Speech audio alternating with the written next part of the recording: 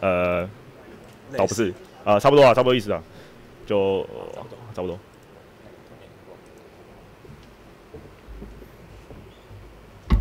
这个啊，十点十分开始。这个呃，我相信如果在台湾如果看那个 Cloud Native 台呃呃台湾 User Group 的相关文章，你应该会知道说，这个早期呃最一开始的时候，其实有邱伟嘛，就是这位讲者，他写了很多的一些关于大壳啊 Kubernetes 相关的一些开源专案的一些文章。那呃，今天我们也非常开心的呃找他来做分享。那他分享什么呢？就是那个。这个 Cloud Native 其实在这个 Bible 上面其实有有有去定义说 Observability，就让人要做 OCEY 这个 OCEY 这件事情的时候，你应该要做要要 focus 在哪些事情？那在他今天会分享用 Grafana 的这个 Lab 它的一些 Open Source Project 啊，怎么去执行这个 OCEY 的一个事情啊？那就让我们掌声欢迎呃熊伟。喂喂喂，好，喂喂，可以好。那跟大家再自我介绍一下，我叫邱文伟，然后我在网络上常用的 ID 就是 HWCHIU。那我目前有在写一些部落格，也有写 Facebook，会跟跟进行分享一些相关的薪资。好，我们因为时间有点不够，所以我快速记录重点吧。那基本上 OCEY 的话，昨天在我们的摊位前面就讲到 OCEY 是个缩写嘛，它全名是所谓的 Observability。所以它基本上呢，就像小飞机说的，基本上我们会把它定义成几个面向，我们去做可观测性的东西。常见的是所谓以前的 matrix，matrix 就是你可能会听到所谓的 Grafana 跟所谓的 Prometheus 搭建的一个 solution，可以让你去监控说你像应用城市的一些指标，譬如说你像 HTTP，呃相关的一些。一些呃指标从你的应用程式里面收进来的，你的 latency 多少啊？你某些东西的统计数量是多少？还有所谓的 logging 的部分，可能所谓的 ELK、EFK 之类的东西，帮你收集你的 log。那更甚至的，有些会想针对 log 部分进行进一步的分析，不单纯只是搜寻 log，想要基于所谓的 turn 这种 word 去进行索引，然后分析说什么跟什么之间出现的频率之类的。到这几年比较慢慢流行的所谓的 tracing，因为现在所谓的微服务架构的出现。以前我们在单一垄断式的这种单一架结构这这这呃部署中，你服务发生问题时，你是单一 process，你可以用所谓的 profiling 方法知道谁是的瓶颈。在 microservice 的架构中，假设我们今天 Kubernetes 的 container 在节点 A、B、C 各有一个 container，一个 traffic 你会从 A 到 B 到 C。你发生问题时，你要知道所谓的 bottleneck 在哪边，谁花比较多时间，甚至说在一个 process 里面哪一个方向花比较多时间。所以 open tracing 后来是它其实也是 Google 那边后来拉出来，然后呃 Google 做一些相关的论文，然后后来不论是 Uber 的 Yeager 啊，早期的 l i p k i n 啊，他们都有去实做相关的东西。那比较大家会讲全名应该是所谓的分散式 tracing，distributed distributed tracing。那基本上这些东西都被定义在所谓的可观性呃可观测性之中。那基本上踩到这三块，现在都有非常非常多的开源专案。每个专案都有它适用的场景以及它可以用到的一些功能。那有趣的是，在这个框架中，很多是可以互相叠加的，就像一个圈一样，你可以 A 叠 B 叠 C，互相叠来叠去。所以今天今天我就会从 Matrix、Logs 跟 Tracing 三个方向去看，说我们如何以常见的 Grafana 以及 Grafana Lab 所开始发呃开发的各种开源专案，打造出一个全家桶，就是由它包办全部事件。那你可以看到，在这呃，在目前的所谓的 tracing log 跟 matrix 中，有很多很多专案是来自于不同公司。好，那基本上做所谓的这种 observability，一个很大的，我自己观察到是这样，不论是哪一种指标，在部署以及这整个实作中，通常一定会有几个角色。第一个，应用程式，你一定是要观察某个应用程式嘛？你可能你用 Go 写，用 Rust 写，都可以任何语言去写。接下来一定要有人去收集你的指标，收集你的 log，收集你的 tracing。收集完毕后，资料太大量了，你可能进行所谓的分析，你可能进行，说，哎，把 log 进行一些压缩，或是后后置处理，matrix 可以把它上上 label，肯定收很多个 cluster，要上一些转换之类的。最后呢，我们要看嘛，所以一定会所谓的视觉化，一定要能做所谓的 visualizer，让你可以，哎，有个很好的故意啊，让你去搜寻之类的。所以基本上，所有这这三大指标里面，它的组合、它的玩法都差不多，很多时候只是说哪一个部分要用哪个开源专案。Application 都是你自己写的东西，所以一定是自自己的。只是后面的部分，你要用什么方法把它兜起来？有的 solution 一个人包三个，也有人说，哎，我专注做一个，互相透过一些 API 的方法去衔接起来。好，那前面可以看到我们在做，呃，前面三三张图很多个东西，在维运上我们很常遇到的问题是，哎，我今天如果我要同时布一个解决方案，不是应该说我要同时支援 matrix logging 跟 tracing，我要怎么做？我要布哪一些服务，所以很容易遇到说，哎，今天好多个专案哦，我可能全部布下去，我要布八个专案，每个专案都来自于不同的 open source，有不同的版本。对于维运人员来讲，你要去追每一个版本的最新的资讯，升级你要怎么升级？change log 其实很烦。再者，每一个的部署方法都不一样，部署方法不一样造成问题是你未来要进行 tuning 啊，你架构要设计时，你都要想说，哎，这东西该怎么做才可以达到更好的效果？甚至发生问题时，如果每个架构都不一样，你都要重新学一套，其实是。呃，你可以动，可是你会很累，因为每一个如果它的原理想法都不同时，会相对的辛苦一点。所以这是为什么国方拿 Lab 他们之后推出了一系列开源软体，他们都希望基于相同的架构，希望相同的概念，你可以学一套用三个，你在进行出错设定的时，哎，用一样想法去做。特别它最好所谓的 User Interface，你的 UI。如果你这是做企业内，你自己玩就算了。企业内有时候你都希望整合目前的 LDAP、你的 Keycloak、DEX 之类的东西，SSO 的部分，你当然也希望说你所有解决方案都可以整合到一套。可是有时候，譬如说如果你玩过 Kibana，就知道哎，Kibana 要整合没那么好整。对，可是你又不可能说让它裸奔嘛。我们都至少要希望什么 HTTPS 至少要账号密码，你也不希望说哎，每个人帮他手动写一组，你维维运就死掉了。每加入一个新的 Team Member 就帮他设一组，有人离开还要帮他砍掉，这绝对不可能。所以大家会希望说这部分可以达到一些自动化，或者说统一管理。主要是维运人员，我们可以有个比较好的一个呃 overview 去看所有的东西进行管理。好，那我们直接讲到果方的类本呢，基本上大家讲到果方呢，以前都知道说哦，我们在做 matrix 的时候会用 Prometheus 收资料，果方呢收去做视觉化。但是实际上它能做出的的的东西非常的多。它在 matrix logs tracing 都有它的开源专案。然后本身呢，它像除了这几个以外，还有所谓的 profiling。profiling 你可以想成是它去收集所谓的 process 运行中 CPU、memory 它们的一些使用量，帮你进行到 function level 的这种出错，知道说哪一个 function 可能卡最多 CPU，可能造成 memory leak 之类的部分。它现在其实涉足的东西非常的多，不单纯只有 UI 而已。所以呢，以 Matrix 来讲，这是一个很常见的架构图。左上角是 Prometheus，非常知名的专案，也在呃 C C F 中非常早就毕业，但是二零一八就毕业的。那果方纳组合技嘛，除这三个以外，这两个以外呢，话有非常多衍生品，Sonos、Cortex 跟 Victoria Matrix，以及我们今天的果方纳秘密啊，这些其实都是在 Matrix 这边的专案。好，那这是一个 Prometheus 跟果方纳的最简单的实作方法嘛，Prometheus Server。它，你可以去撰写它的一些设定档，它去跟你的应用程式收资料。所以通常你的应用程式你都会透过 HTTP endpoint 写一个界面给，哎，请打我，比如说什么斜线 matrix，server 就会定期去问，可能每十五秒、每三十秒去拉一次资料。拉完之后呢，你的 Grafana 就会设定说，哎，我要去从 server 这边读资料。然后你就可以设定说，哎，比如说我想要 query，我想要计算总和，我想要计算它的一些 rate，比如说它的一些每秒增长率、每分钟增长率，然后透过 Grafana。UI 呈现，这是个最简一个基本概念。Matrix 就是有人去呃视觉化，有人去收集加分析处理，然后做是你的 application。那我们除了这样做的话，哎，国方呢它可以增加很多个 data source 嘛。所以说有时候你机器很多台，那有人会说，哎，我能不能每台机器都装一个 Prometheus？在以前的 VM 啊，或者说纯还有那个 Bare Metal 机器的情况下，所以你的国方呢，你也可以去运行在呃，就是用一个中央的国方呢。去接收很多个不同的 Prometheus server，这都可以做到，所以它其实弹是有弹性的。那变成是你要理解它怎么运作，再根据你的情境去调整，而不是说你想用一套架构打天下是比较难的，而是知道说到底我现在的部署环境是长什么样子。因为虽然现在大家讲 Kubernetes，可是有很多环境也不一定有 Kubernetes 嘛，可能连 container 都不一定有，所以还是要根据你的需求去看，哎，东西该怎么部署，怎么去调整。好，那。Prometheus 讲这么多，实物上会不会有人真的纯用只用 Prometheus？不会有，因为它有太多问题。第一个，Prometheus 本身的设计，它就是不是一个 long-term solution。什么叫 long-term solution 呢？问题在于它的资料储存，它原生只资源写到硬碟，写硬碟的话，你之后一台机器，你可能觉得无所谓。当你今天硬碟爆了，或者说你要说到 HA，你想要做 AA，想要分散这流量，你都很难办到。所以后来才会有这么多衍生的专案，所谓的 Sonos 跟 Vitoria 以及 Cortex，他们要去把 Prometheus 给改善。那就有人问说，Prometheus 干嘛干嘛？他不他不呃自己不去做？他们就就说了嘛，我们就是简单。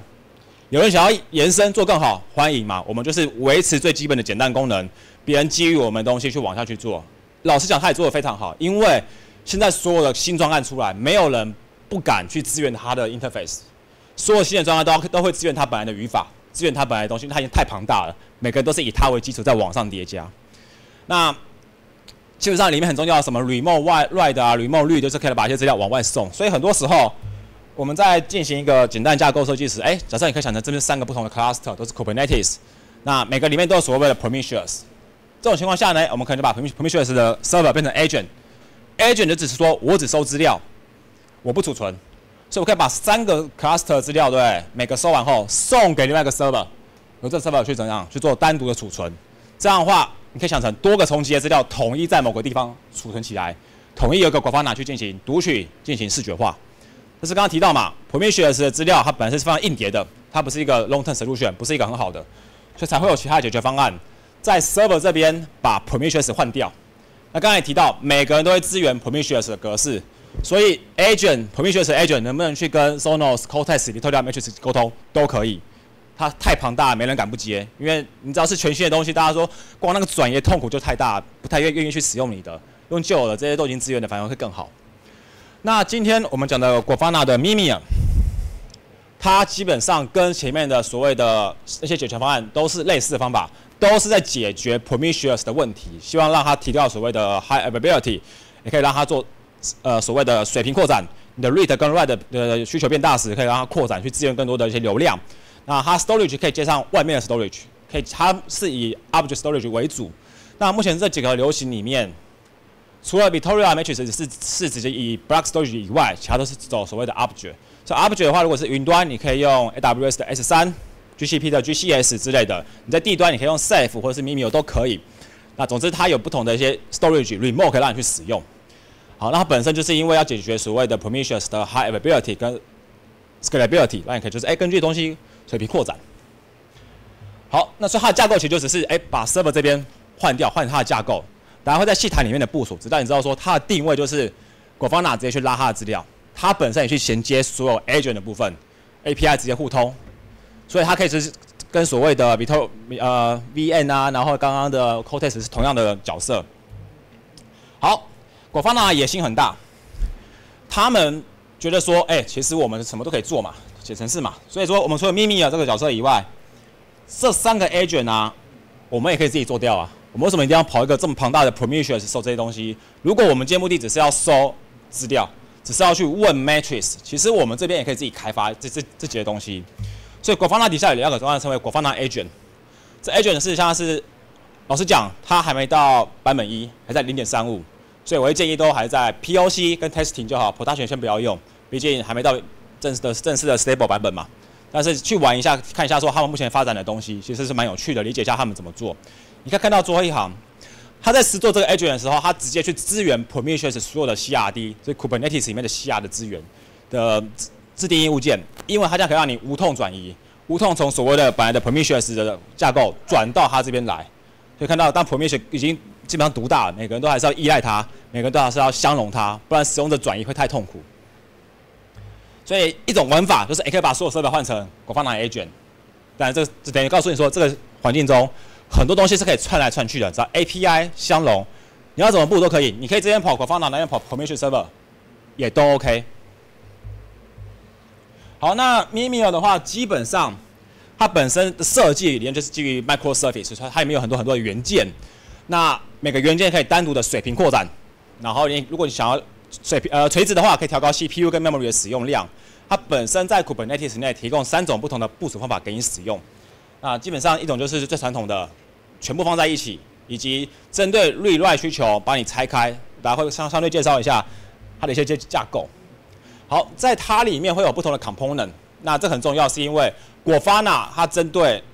Matrix Logging 跟 Tracing 里面全都是用一样的架构，Component 名称也都完全一样，角色定位也都完全一样，所以掌握一套三套都可以理解。那基本上我们对于 Matrix 来讲，我们在意的是两个部分：收跟写。写就是说我们去从我们的 Application 收完资料，一路写回 Storage，这叫写。读就是说我们从 Grafana 去下一个 Query，从 Storage 把资料拉出来，分析完视觉化，这叫读。就在它的世界中，基本上左边会写会经过两个元件，所谓的 distributor 跟所谓的 ingester。ingester 其实大部分 bottleneck 的部分，所有的写入处理都在里面进行相关的一些转换啊处理，最后写到我们的 storage 里面，然后或所谓的 compactor，它去对 storage 进行一些定期把一些过期删掉，或是说定期进行一些整理，把大的 trunk 整合成小的 trunk 省空间。那 read 也会有相关的 passing，基本上前面的 front end 跟 distributor 都是小 low balance 的概念。后面真的 query 才是真正的去读啊。那当你要读资料时，哦，写资料很简单，收到就写。你读不一样，我可能要读现在的，我要读七天以前的，我要读两年以前的。你读会有个时间 range，为了让时间 range 快一点，他要把这个东西再把它往下拆，让不同的这种 storage gateway 的 instance 去分别负担不同的 range，不同的时间区段，它在加速，同时往下去送。所以它这边其实之后都可以水平扩展变很多个。好，这是它的基本元件架构，所以你去布一个 mimi 的这种 solution，会看到很多个 component，很多个 process。简单玩法 POC 的过程中，它第一种做法，因为它的实作里面这些全都是 process 嘛，它可以把它 compile 成一个 binary，所以一种部署就是我只布一个 process，里面包含所有方选，全包含在一起，就等于说这是一个 container，一个 process 而已。所以这种情况下，如果你要水平扩展，让你的这种呃 scalability 更好的话，你就是布更多个 container，前面在外包一个 load balancer，你可以自己用 Kubernetes 的 Ingress 啊 service 再包一个 load balancer，甚至说你自己是地端的话，随便包都可以。你的 re- run 打进来再散出去，那这种情况下测试很简单，但是很多人在真正部署时没那么爱，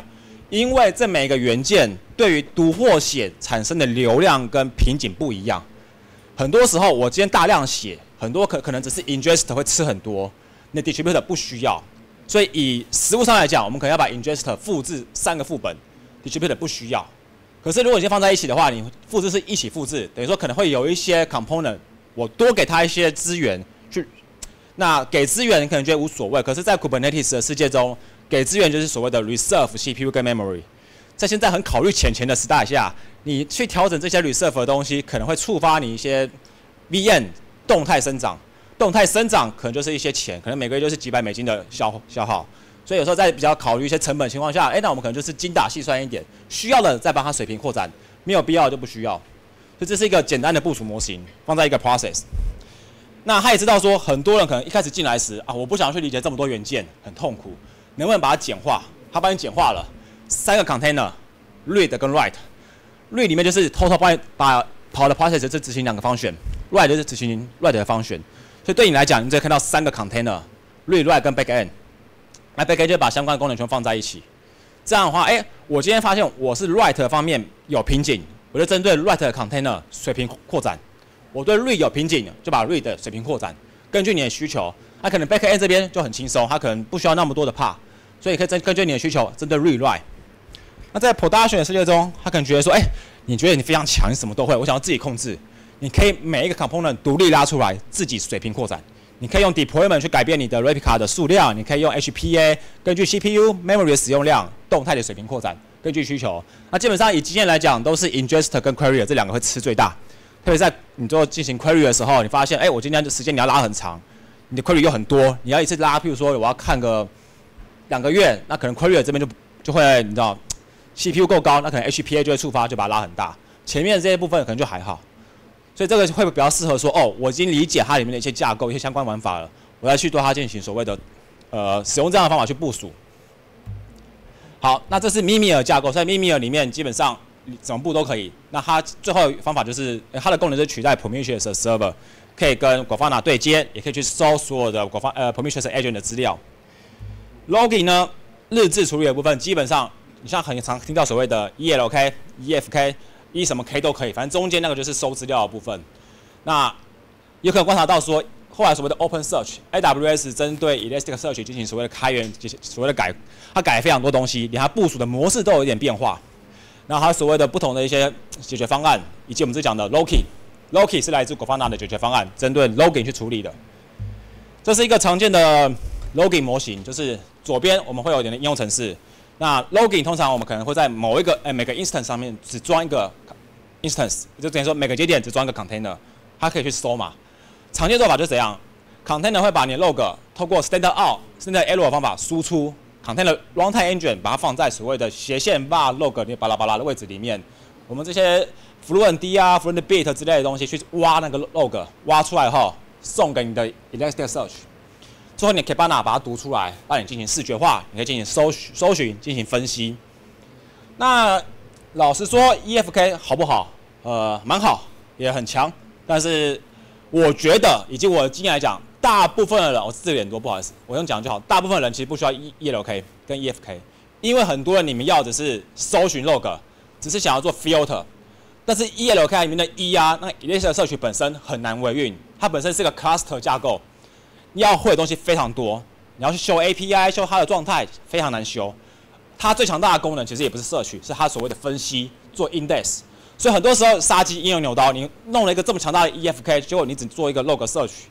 其实最后痛苦的是你。当它发生问题时，你发现你也不会修，然后它最强大的功能你也没用到，就只是在那边搜 log，你只是在这 filter 打几个字，真的是浪费人生。所以如果你真的确定说你的需求只是收集 log、过滤 log，那其实有蛮多解决方案，像 Loki 它就很适合你的需求。但是如果确定说你要做分析，你要知道说 log 中哪一些跟哪一些字跟哪一些字出现的频率、互相出现的几率，有这种分析功能时，你还是要回到 ELK 的 E，以这些社区去帮你进行相关的一些分析动作。但是如果说日志的话，那我会推荐说使用 Loki 就可以了。好，那基本上 Loki 角色就是把这边换掉，换成所谓的呃把 Elastic 社区换成 Loki，视觉化呢，以国方拿去搜。那对他来讲，哎，其实。福伦迪有国防党，我觉得说，哎，我们也可以做嘛。所以国防党他在这边，对不对？他们也做了另外一些的解决方案，他们称为所谓的 p r o n t a i l 很轻量级的搜 log 的部分。那你跟他，你问我说，它跟其他有什么不一样？其实没什么不一样，就看你喜欢哪一套。大家的界面都可以支援，都可以走 HTTP，都可以进行说搜完 log 之后做所谓的 transformer 进行相关的一些修改，把一些账号密码给屏蔽掉，都可以办得到。所以说 log 要哪一套其实无所谓，你都可以搜。所以。如果你要全家餐，你就可以把 s o log 部分换成 p r o n t a i l 这是他早期的做法。好，那刚刚前面是不是提到有国方拿 agent？国方拿 agent 也可以搜 log，所以国防的 agent 这种目标是它变成一个 agent 搜所有的 matrix，我可以搜 matrix，我可以搜 logging，一一套打天下。但是刚才提到嘛，agent 还在零点三五点零，所以就是玩玩就好，还不需要到正式的环境去中。Logi 跟 Mimia 九九 percent 一样，所以这页有。没什么重点，就是它的部署模式也是一样，会有所谓的 distributor ingest 部分完全一模一样，连部署的方式都是有所谓的呃 monolithic 或者所谓的 rewrite 以及所谓的那个 microservice base。所以你掌握了 Mimir 的玩法，或掌握了 Loki 玩法，再去看另外一套，发现哎，设定方式都一样。针对 read 跟 write 时，你可能要 tuning 的部分，哪些 size 啊，哪些东西要改，也几乎完全一样。你会觉得哎。就是对你来讲，你会轻松很多啦。等于说，你只要学一套的一些概念，你可以去控管很多个不同的 solution。Tracing 这边基本上也是差不多，Jaeger 跟 Zipkin 到后来像所谓的 OpenTelemetry 打掌握整个天下嘛。广方法这种所谓的广方法 Temple，这是以前的 Tracing 的一个玩法。你的 application Tracing 打出来会透过 SDK，SDK 它可能会打呃，再讲一下 Tracing 这边对，这只是一个举例，不是唯一。Tracing 很多种组合方法，怎么组都可以。那这是一种 SDK 送给我们的 Telemetry 收完，然后 Telemetry 送给一个，一个把它写进 database，然后再会有个 query 去去这边捞 database。你可以再用所谓的一个 UI 去看图形的资料。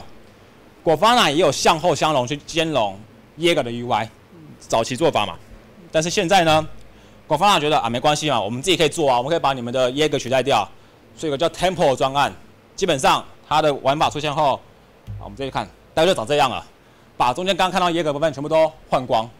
用 Temple 去进行处理。它背后有去支援所谓的 OpenTelemetry、Jaeger 跟 Zipkin 的格式，所以你既有的应用程式，你不需要改，你也不用换 Library，只要让它把封包、把你的 Tracing 资料打向 Temple，官方哪去 load 就可以。那有些人说我 Tracing 收完之后我要进行一些转换，你也可以送给你本来的 Collector 进行一些管理，或者是你想把它送给官方拿 Agent，让 Agent 来收集再回来。吐给 Temple 也都 OK，所以它的组合是非常方法，呃，非常弹性跟灵活，因为大家的界面都是共用的。部署模型又是完全一样，什么 Distributor、Ingester 都完全一样，所以它也是一样，在 r 跟 Write 这边有自己的 Pace，只是它在 ingest 这边它多了个所谓的 matrix generator，它可以帮你收到你的 tracing 之后，自动帮你产生一些 matrix，所以未来在 dashboard 你可以从某些 matrix 跟某些 tracing 找到关联。大家看有机会的话，给个简单 demo。好，那基本上它部署的话，它目前是没有 rewrite，但是真的是不大选时，我们可能都会使用 microservice 这种每个元件独立去部署，自己需求把它水平扩展。所以这是一个可能的理想。我们在每个 K8s 的节点中，只跑一个 agent，agent 你可以搜 application 的 log，可以搜你的 matrix，你的 s 你的 tracing 的 data 送给 agent。在我们真正的我们维运人员 DevOps 啊，whatever，你的自己重集中，你不你的国方拿去视觉化。你把你的 Tempo、Loki、Mimi 布起来，让每个节点全部把资料送给我，透过 Push 方法把它送送到各自的元件。你可以送你的 Log、送你的 Matrix、送你的 Tracing，这样的话就是完整全家餐全包。但是实物上不一定嘛，实物上因为刚刚提到官方的 agent 还没那么稳，所以有时候哎，我们还是跟用现有方法去做嘛。我们可以用什么 Prometheus 的 Agent 去搜 Matrix，你可以用 Prontail 用 Fluentd 去搜 Log 也都 OK。你本来要收你的 Tracing 资料，你用那个 OpenTelemetry 弄 Jaeger 也都可以，但是因呃因为界面相同，你还是可以在你后端这边透过 Mimir、Tempo 跟 Login 呃 Loki 去做所谓的 Server 收你这些 Matrix Login 跟 Tracing 的资料，统一透过 Grafana 来进行视觉化。五分钟。好，除了这个之外呢，还有所谓的 Profiling。Profiling 这是一个是在大家以前在写程式时可能自己会用到，但是对于维运人员来讲，怎么会怎么做比较好？果方娜他觉得这一块也是值得去做的，毕竟果方娜他觉得自己真的很强，那 UI 什么都可以做，所以他觉得说，哎，他们开了一个叫 Flare 的专案，做到所谓的 Continuous 的 Profiling，一直不停的去收集你应用程式里面的资料。当是发生问题时，你可以像我们做果方娜一样，时间范围我想看这五分钟内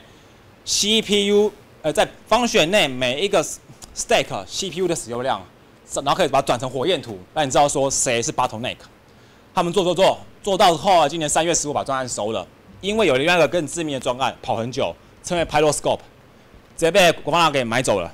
那 Pyroscope 本来有他们自己的 agent，他们有各资源各式各样程式语言的 SDK，然后有自己的 UI，现在被买走，整个收下来了。所以国防党 Flare 这专案目前先停掉。那也我觉得应该很不久之后就看到说它整个功能整合到国防党里面。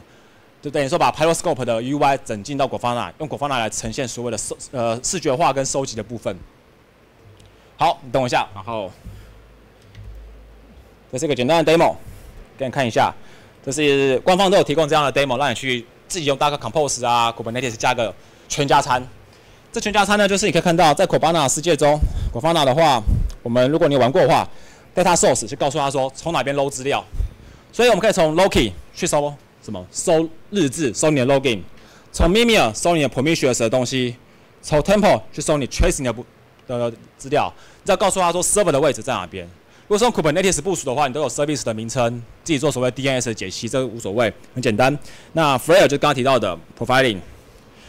那长起来会怎么样子？如果你用过所谓的 Prometheus 的话，基本上诶大大同小异。这个 UI 跟一般的国方拿比较不一样，所以它是死板的。死板国方拿大概是上个月才 release 的，所以它的 UI 一些操作、一些 button 跟你用过往的九或八其实改蛮多的。那它的一些画法也不太一样。那这个是传统的嘛？我们去收一些指标回来视觉化。那你可以看到它这边有一些呃 matrix 关于说你 HTTP 的一些 return code。那它这边告诉呃有它的这些数量啊，然后我看一下这边，呃有所谓的 latency，这个变得有点小，看不太到。好，就告诉你说每一个 endpoint 啊，什么样的 measure，它的 latency 多少。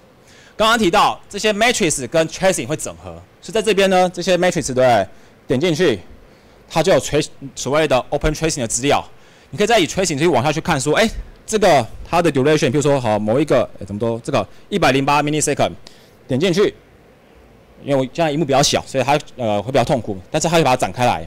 以 microservice 不同的 component 以及每一个里面你的方选，当然这是应用程式人本要本身也要去写的，可能框架有是你自己去撰写去支援这部分，就会知道说哦，这一百 millisecond 里面对，第一个这个 component 它大概花了七十九 millisecond。然后里面有各式各样的方选，每个方选中它目前的值有哪一些 attribute，大大概是怎么样，你就可以知道说，当发生 bottleneck 时，可能是卡在哪一边，哪边花比较多时间，这是我们用 tracing 的做法，可以看到说，哎，这边某个人花了二十六点八五 millisecond，所以要发现 bottleneck 时，哎，可能跟他有关。为什么别人都很正常，就说他特别慢？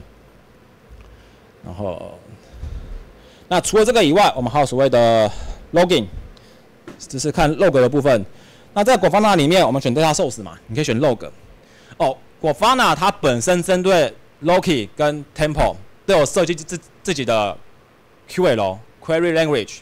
那 Mimir 的话是完全兼容 Prometheus，完全一样。那 Loki 呃 Logging 跟 Tempo 有额外的写法。那在 Logging 世界中，你跟他说，哎，我要搜你的 log，然后因为 log 其实搜上来是以后有些 label，你那 label 它哎 job 等于 agent 的话，然后可以把它转成 format 印出来，然后他把它去哎，我想要做 match，发现什么东西等于 L 的时候把它印出来。这边呢就看到还有各式各样的 log 的讯息。那因为它是全加餐，所以 log 跟 tracing 又有整合，你对这个 log 发现它怎么出现 error？我想知道说这个 error 它到底中间是经过哪一些 component，彼此的时间怎么样？又可以跟 tempo 整合在一起，又可以打开说哦这一笔 log 它当初产生时里面的 tracing 资料，它 tracing ID 对应到哪一个 request，在哪些 component 之间花多少时间？所以当你有机会把全家餐那三套就好，我们 agent 无所谓，server 这边整合在一起时，是会提供一些更好的方法让你去做 reference。你可以从 matrix 到 logging 到 tracing 三个进行一些交互参考。有问题时，你可以更快知道说，哦，这个发生问题了，然后我可以更快去查。不然你过往如果是三套不同 UI，你要自己手动花大脑去想说，哦，这一个 matrix 可能是跟哪一个 log 有关。那 log 里面我本身就打一些 tracing ID 时，然后可能要到我们不同的 UI 就去看，哎，这个 tracing ID 对应到是什么？他今天把你全部整合在一起，让你去看，哎，比较方便简单。然后还有，哎呦，吵死了，再给我一分钟。好，在 Explore 这边呢，Explore 就是你没有想做 Dashboard 长久了，是让你简单去一个 Playground 的地方。它里面还有所谓的 Flyer，那我说它暂时会之后不见嘛？看一下，它这个收的呃，这这呃这就是 Profiling 的东西，告诉你说哦，现在这个 Process 里面大部分时间都在 idle 啊，然后。我这里要看它 profiling 怎么收，收到之后长什么样子，大概让你知道说，你未来如果对 performance 有有问题，你也可以从这边去看。然后它也适合，那为什么我们称为所谓的 continuous profiling？就是说它是会一直不停的收集，不是只收一次。那一直收集的话，就是你会得到这这种曲线图，然后你就可以针对你的时间区间去看，说，哎，某个时间时间点应用程式怪怪的，怎么 CPU 飙高，就可以把时间拉到这边去看一下，说它那边那情况下。profiling 的结果告诉我是什么？我能不能从这边得到一些 debug 讯息，知道说哪一个 process 哪个 function 怎么会突然变忙了之类的，给你一些 insight 往哪边去除错？当然，就刚提到之后 Pyroscope 的收购之后，也许这个 UI 可能会改变，它的背后的 agent 可能要换成由 Pyroscope 去开发的，也不是 Grafana 的 Flyer。好，那我今天关于呃 Grafana 打造一个 observability 的全家餐的分享就到这边，谢谢大家。哦。我们下场一场还有八分钟，但是我觉得还是可以可以问问个问题，有没有有任何问题？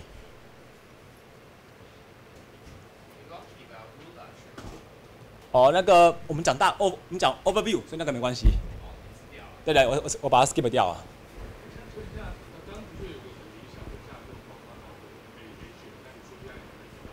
对。去搜对。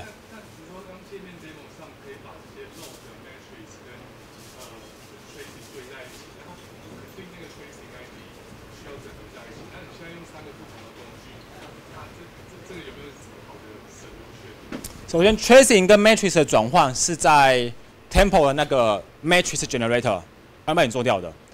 log logging 跟 tracing 的转换是你在进行写 log，你你的用程是在写资料时，你只要把 trace ID 写进 log，同时也打一笔 tracing 资料出去就可以了。然后你知道在，其实主要是在这边，就是在你收集 log 呃 logi 这边对。会有一个地方告诉他说：“哎，你这个收进来的资料里面啊，哪一个栏位跟 trace ID 有关？只要你的应用程式在写 log 时把它写进去，它 log 收进来时，它就把这个栏位转成 trace ID。然后 tempo 里面如果收到有一模一样的 ID，它自动把它做关联起来。所以你背后怎么收无所谓，是应用程式那边只要有写入，这边有设定好，它就可以关联起来了。好，谢谢。好，谢谢大家。啊，五分钟后来场议程，谢谢。”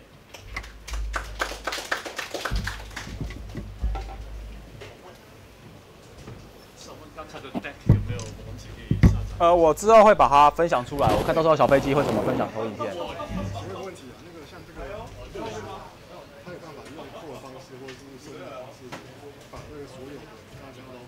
往上这些相关的自动在一起，包括像我放了新重还有线图页面，哦，所以你讲的是 Grafana is a code 之类的概念。那目前看你要不，如果是 Kubernetes 的话，应该在讲 Grafana 所有这些包都是基于 JSON 档案，所以一种做法是我们去外面好了。